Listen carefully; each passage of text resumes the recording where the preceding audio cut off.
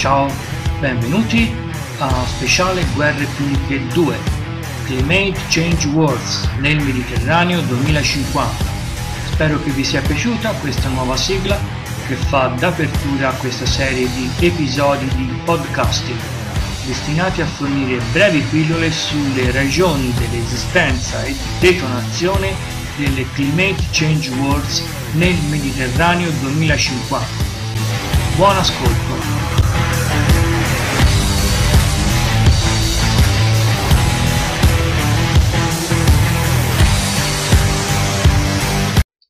Benvenuti ad un altro episodio di Climate Change Wars, le guerre del cambiamento climatico nel Mediterraneo 2050. In questo episodio parleremo rapidamente di quali tipi di guerre si potranno sviluppare nei prossimi 30 anni nei decenni a venire. In un pianeta sovrappopolato con un'accelerazione dei danni da cambiamenti climatici è utile segmentare gli attori mondiali in varie categorie di players. Primo mondo, nazioni con mercati saturi, alto debito pubblico, crescita quasi zero del PIL e costanza del reddito pro capite, basso livello dei tassi di interesse, bassa crescita della popolazione, forte potere militare.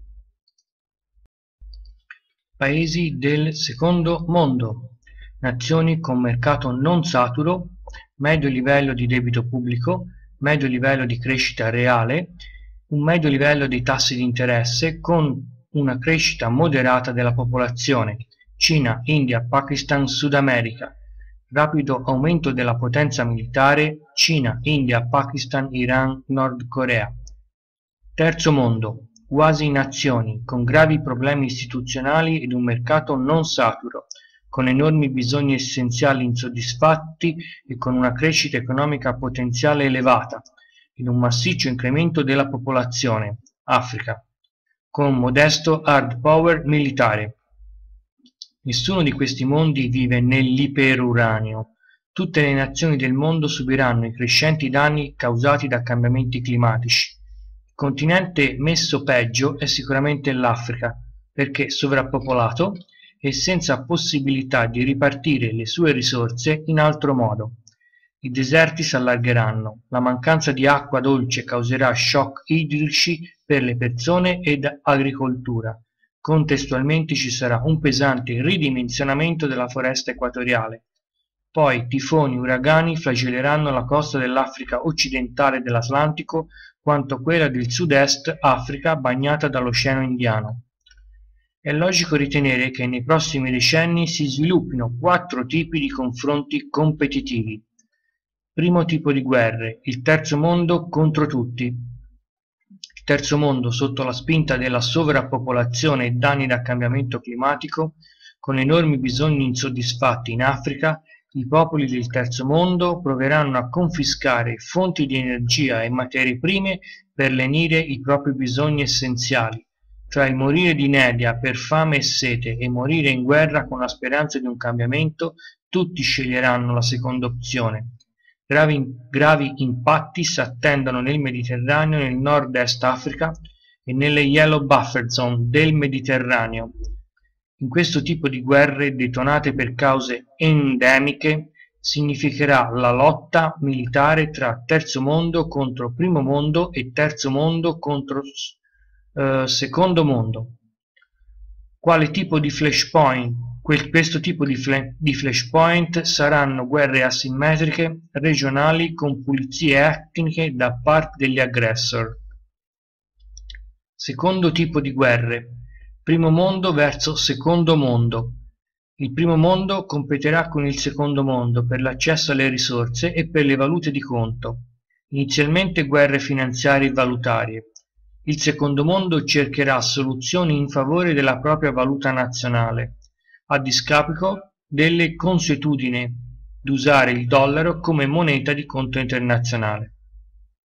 Le guerre finanziarie porteranno di sicuro a guerre nel dominio cyber, le quali, a seconda dell'intensità dei danni prodotti, potrebbero attivare un'escalation dello scontro tra primo mondo contro secondo mondo, conducendo, conducendo ad uno scontro militare diretto e ad un tipo di terza guerra mondiale.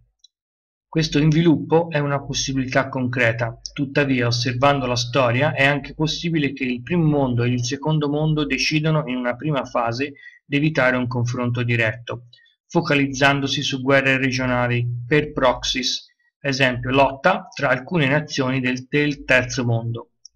2. Tuttavia è anche logico supporre che la soddisfazione dei, dei bisogni primari le questioni di scarsità e i danni da cambiamento climatico provochino una degenerazione di guerre regionali, dei proxies, con un'escalation dentro un conflitto, un conflitto diretto tra la coalizione del primo mondo contro una coalizione del secondo mondo.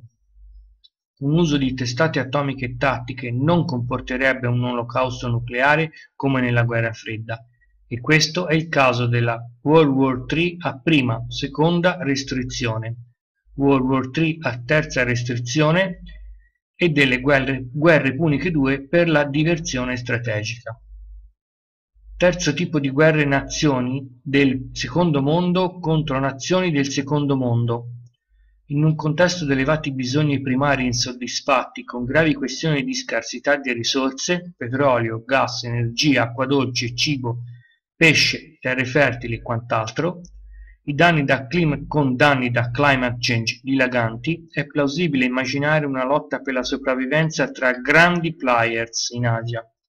Dentro ad, un logico, dentro ad una logica di gioco a somma zero, non è da escludere che la terza guerra mondiale, definibile come Cina verso India, ossia il caso della terza guerra mondiale a prima restrizione con numero minimo dei contendenti, possa deflagrare anche in questo modo. Per ultimo, ma non meno importante, in un mondo competitivo in cui tutte le nazioni giocano un gioco a somma zero, dove la morte di una nazione significa la sopravvivenza di un'altra, esiste un altro tipo di guerre, quarto tipo di guerre, le coalizioni ibride del primo mondo contro coalizioni ibride del secondo mondo. 1. È logico attendersi che il primo mondo costruisca una coalizione con tutti i paesi del primo mondo che non saranno stati canaglia, rinforzati da qualche nazione del secondo mondo. È altresì logico attendersi che esista una coalizione di vari paesi del secondo mondo che si siano alleati con alcune quasi nazioni del terzo mondo considerazioni che spingerebbero il confronto più su una terza guerra mondiale a terza restrizione piuttosto che una terza guerra mondiale eh, quindi eh, a prima o a seconda restrizione.